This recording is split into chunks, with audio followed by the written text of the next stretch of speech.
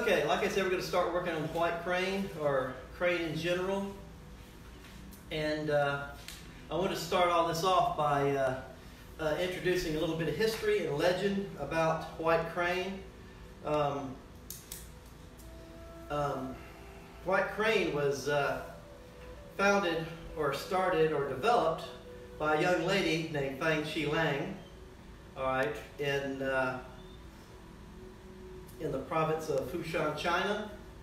Uh, her dad was uh, a skilled fighter in what is basically known as monk fist boxing. Okay, so he taught her the monk fist boxing style to begin with. Okay, so she was an experienced uh, martial artist before she encountered anything having to do with the crane. And there's a number of stories about the about the crane, number of legendary, legend type stories, mythical, or however you want to do it. I'm sure they've changed over the over the years, um, like stories tend to do when they come down from by word of mouth. Because uh, when these stories first came out, they weren't. They're pretty sure they weren't written down. Um, the three basic versions is uh, two versions are very similar. One of them that she was out working in her yard, essentially near her house. And the uh, area of China she lived in uh, was known for having lots of cranes, lots of cranes. And you can compare that to uh, down here in Florida, where you would consider we have a lot of cranes uh, compared to like uh, maybe New York City. Um, but if you go outside of your house, you may or may not see a crane on a daily basis. You may see, you know, like a blue heron or, or any type of bird of that, uh, that stature, the really large creatures.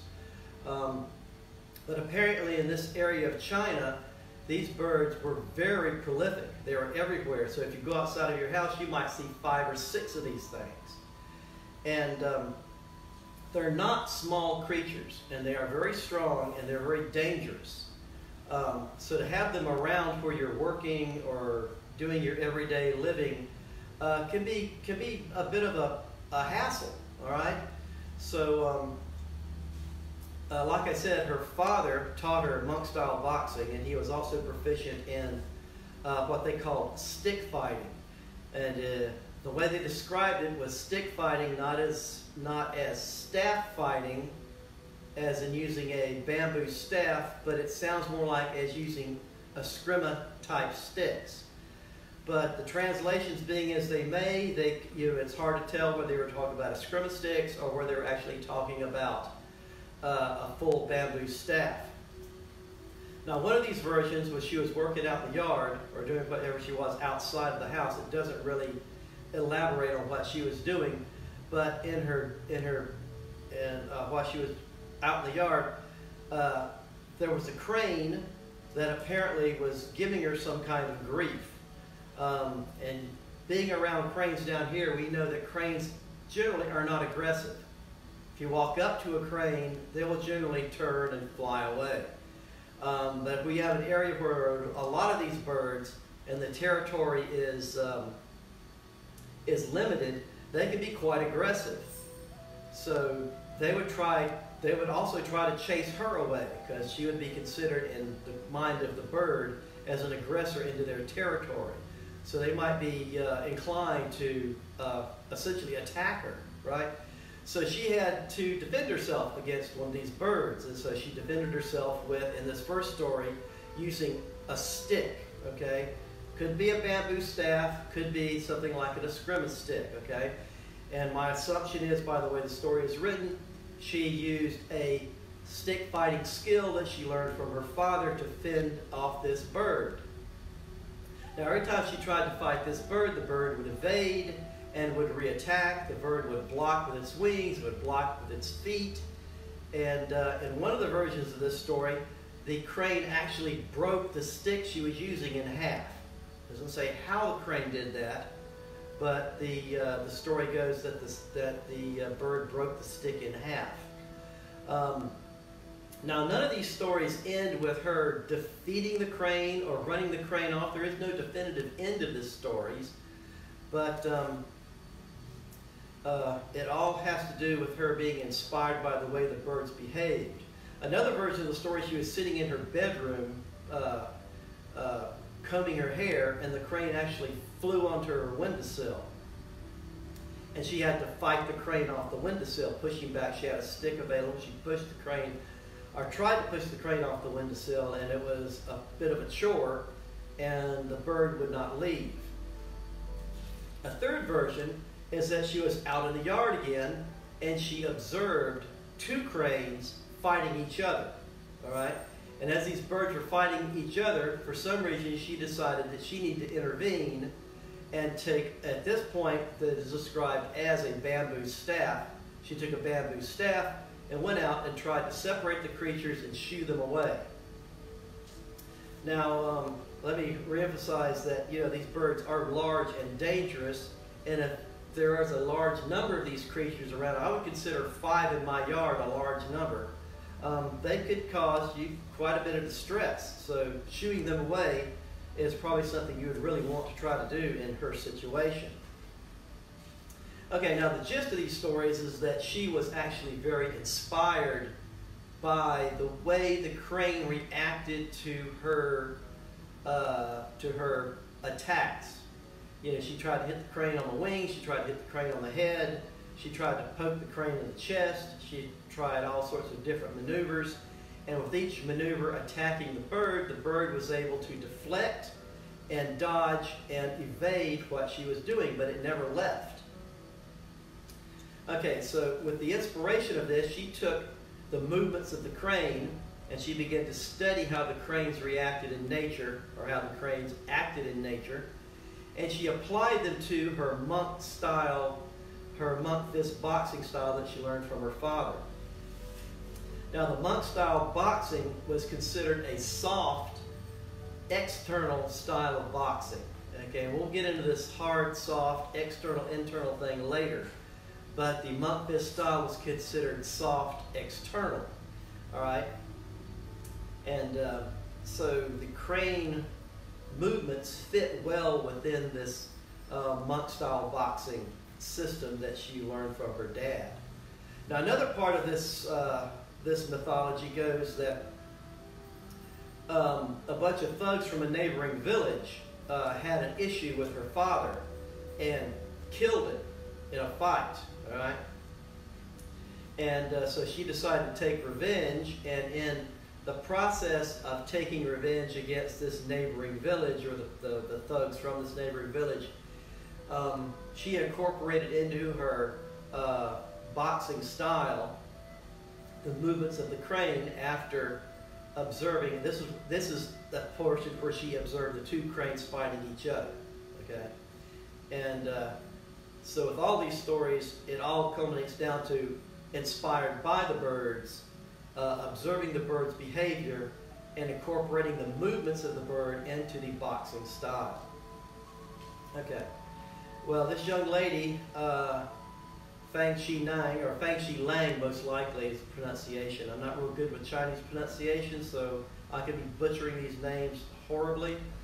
Um, but she became quite well known um, for this crane style that she had developed.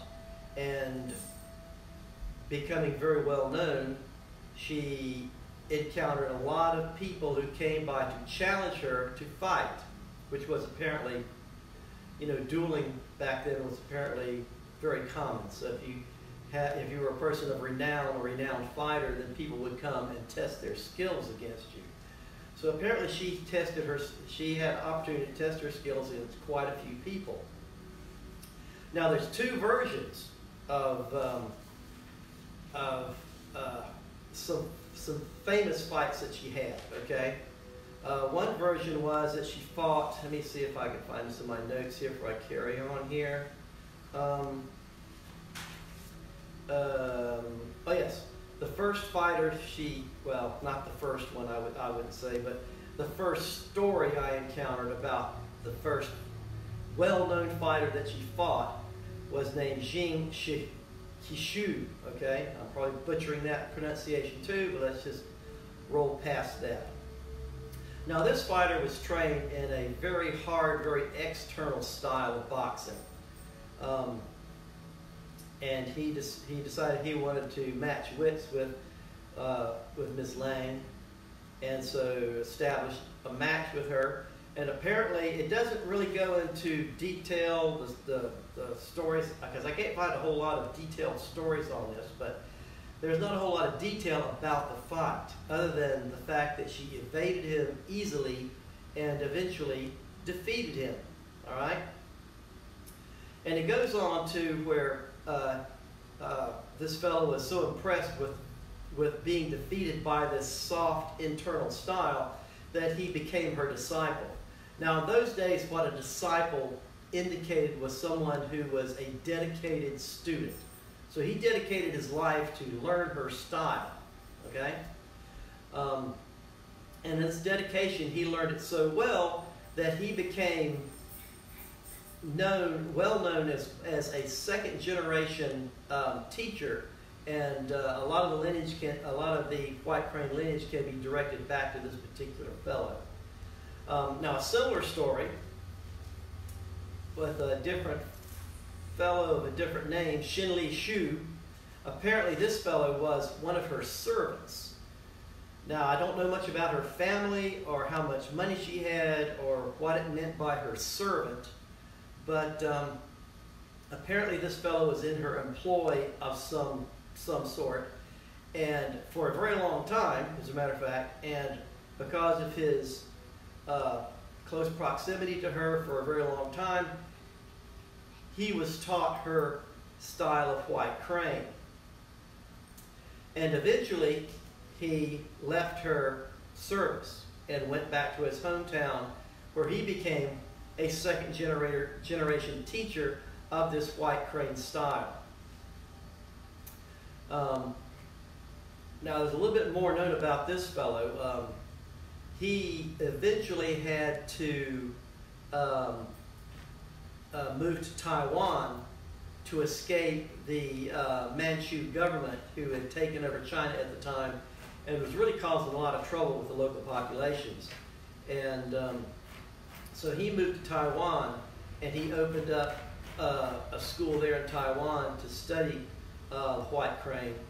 And um, as it goes, a lot of these martial arts schools at the time turned into what they called secret societies and not secret in the in the sense that they were full of mysticism and and uh, things of that sort, but they were secret because if they weren't, they would be ferreted out and destroyed by the uh, the reigning governments at the time. Okay, so that's a little bit of history about the uh, the white crane.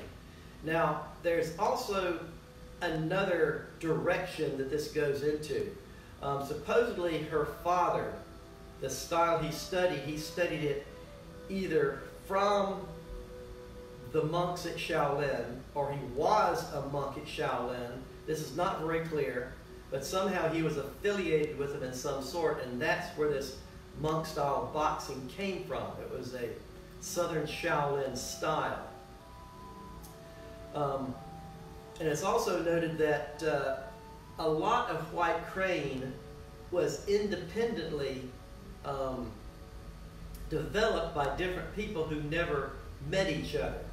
Um, so it's also theorized that a lot of white crane, or a lot of crane in general, was developed in uh, at Shaolin, at the Shaolin Temple by the monks, independent of uh, Ms. Lang. Um, other than that, there's uh, this is, of course, myth and legend, but there's often a whole lot of truth in myth and legend. So um, it's interesting to know these things. I want everybody to to start getting a feel for the history behind the kung fu that we learn, the kung fu that we do. Now, we didn't, um, in the adult class, we didn't talk a whole lot about mythology or the history of the mantis style.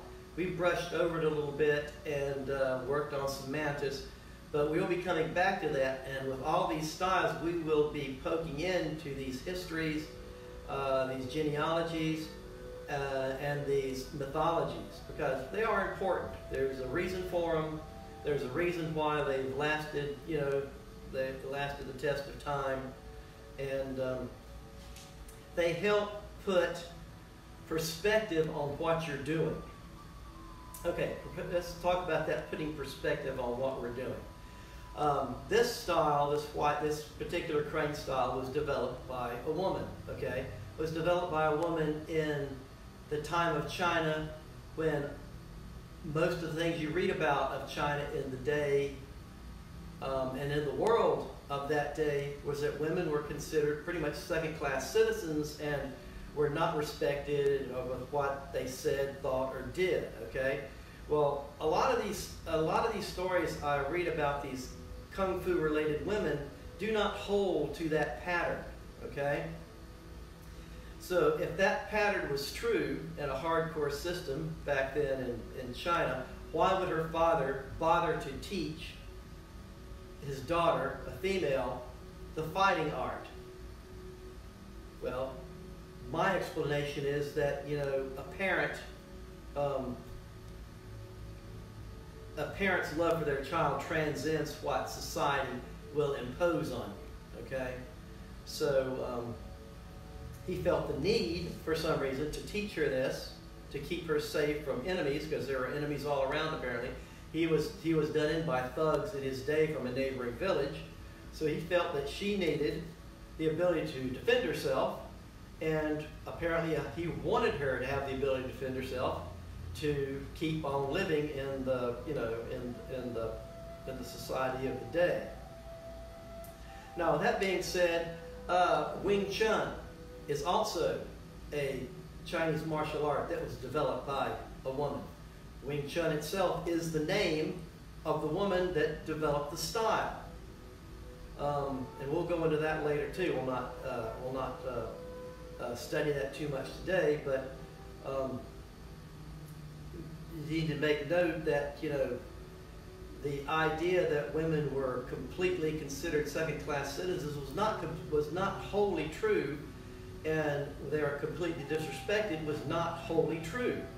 Um, the legend of these of this one fighter, this hard external trained fighters, uh, uh, Shizu, um, who had a desire to to fight to test his his ability against her, um, stands to stands against that uh, that train of thought. If he didn't think that she had anything worth uh, tested against, he wouldn't have bothered. After all, she was a girl, it was China, and you know, who cares what a woman has to say or do in, in, in society at that time? Well, apparently that's not true because he did challenge her, he did go fight with her, he lost his fight to her, and he became her disciple. All right? That speaks volumes into what, uh, you know, how how women were actually treated and respected back in that day as too. So there's a dichotomy in the society there. Um, don't always believe what you hear, don't always believe what you're told. Um, there were some atrocities committed on females at the time back then, but apparently not with all of them, okay? So women throughout history have persevered through this, these trials and have become quite famous, all right? And this is one example, all right?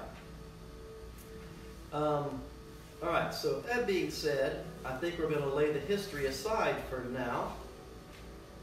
And we're going to come back to this a little bit later. Um, and we're going to, uh, oh yeah, just a, just a note here. She lived in the village of Yongchun, and that is the name given to the white crane style that she developed was uh, Yongchun white crane. All right, just just to throw that out there.